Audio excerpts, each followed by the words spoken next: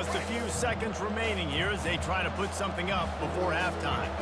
Looking to pass. It's Jefferson. He makes the catch in the end zone. Shit, that was risky.